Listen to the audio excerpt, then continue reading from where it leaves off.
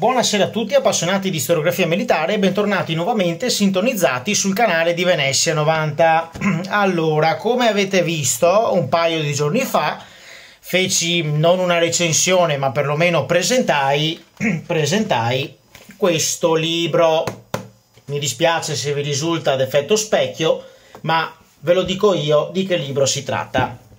Scritto dal professor Luca Valente, 10 giorni di guerra, 22 aprile, 5 maggio 1945, la ritirata tedesca e l'inseguimento degli alleati in Veneto e di Trentino. Regioni che io conosco molto bene, soprattutto il Veneto, in quanto, lo avrete sentito dal mio accento, sono veneto e veneziano in primis, quindi sono fatti che riguardano le zone dove vivo e dove sono nato.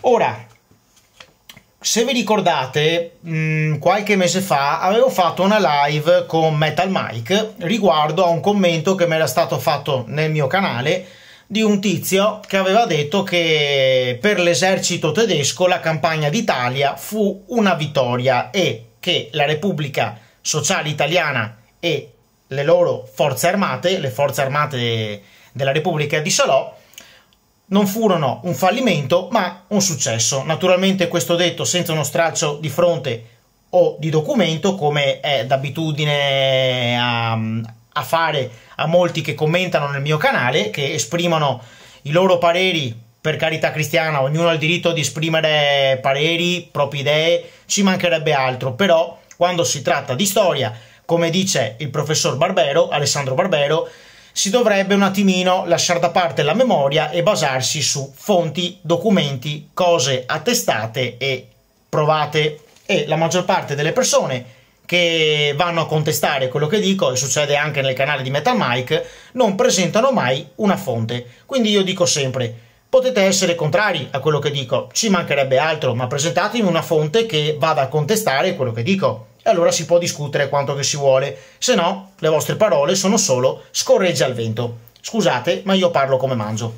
Quindi, da questo magnifico libro, anche se ne sono solo all'inizio, vi volevo un po' raccontare com'era la situazione delle armate tedesche in Italia appena si scatenò l'offensiva alleata di primavera, o conosciuta anche come offensiva finale, che diede il colpo di grazia alle armate tedesche attestate sulla linea gotica e sul fronte appenninico.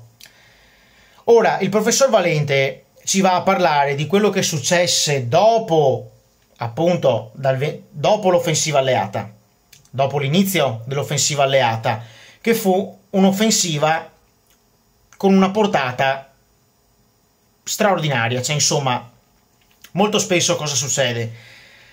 Nei libri di storia che trattano la campagna d'Italia si fermano sempre all'inizio dell'offensiva di primavera o alla fine delle operazioni del 1944 sul fronte appenninico con il famoso proclama di Alexander, con gli alleati che si stanno riorganizzando e preferiscono fare dei piccoli attacchi di leggerimento sul fronte degli Appennini per eh, migliorare le posizioni, ma non si parla mai di quello che avvenne dopo lo scatenarsi dell'offensiva di primavera da parte degli alleati lungo la linea di tre fiumi. E vi cito, Jeffrey Cox può essere uno di quelli nel suo libro La corsa per Trieste, fonte principale dal quale il professor Valente attinge informazioni, oltre che a quello che successe nei dieci giorni successivi di guerra vera, perché fu guerra vera, prima della capitolazione dei, dei tedeschi sul fronte italiano.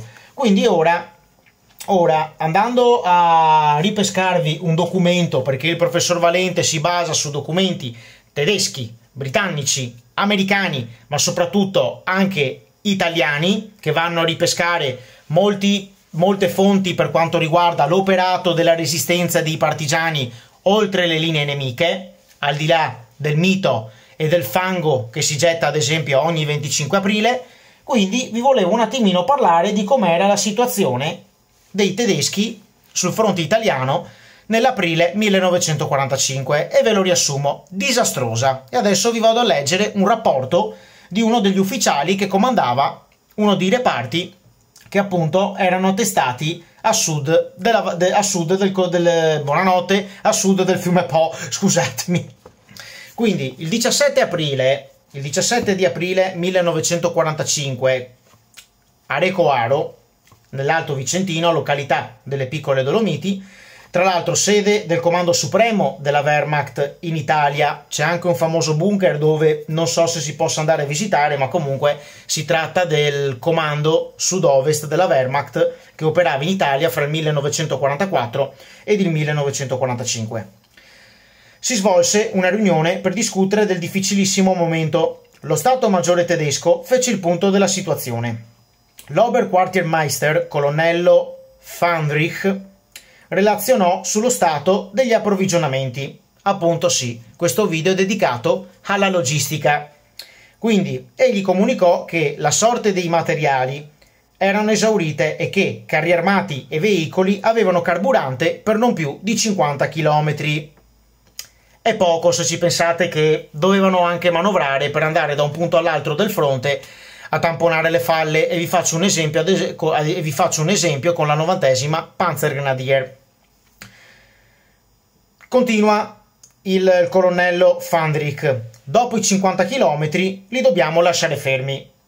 Aggiunse che le scorte delle munizioni si sarebbero esaurite nei successivi 3-4 giorni e che molti pezzi dell'artiglieria pesante e molti cannoni antiaerei non potevano essere alimentati perché non c'erano più proiettili e erano indispensabili per contrastare lo strapotere dell'aviazione anglo-americana che veramente martellava e non lasciava tregua a i reparti tedeschi che iniziavano a ritirarsi verso nord, che cercavano soprattutto di raggiungere la linea oltre il fiume Po.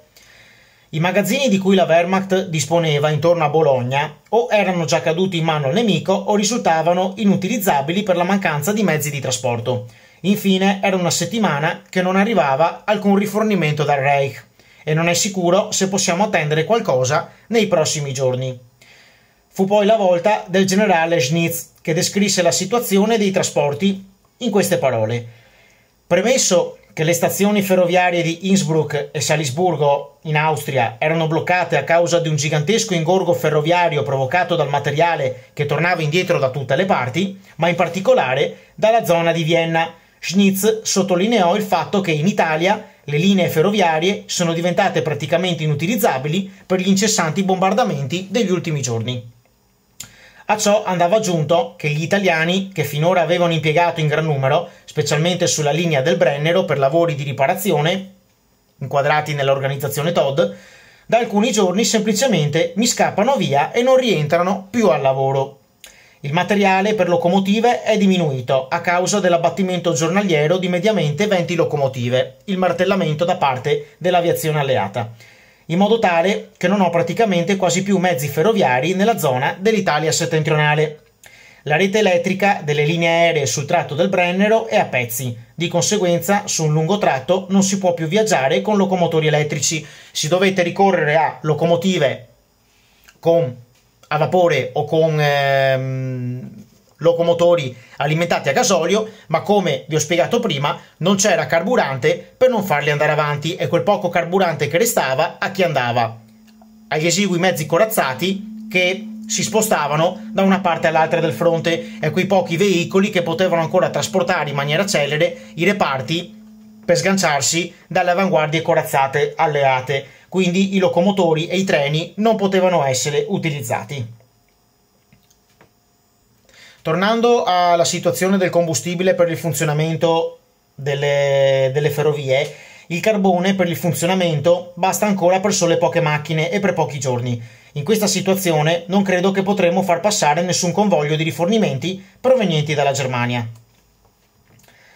La realtà era dunque talmente disastrosa che il capo di Stato Maggiore Rötiger, su ordine del generale Weitinghoff che andò a sostituire Kessering nel 1945 a comando del gruppo di armate C, contattò subito l'OKW, l'Oberkommando der Wehrmacht, l'alto comando tedesco a Berlino, per chiedere il permesso di ritirata prima dell'imminente annientamento.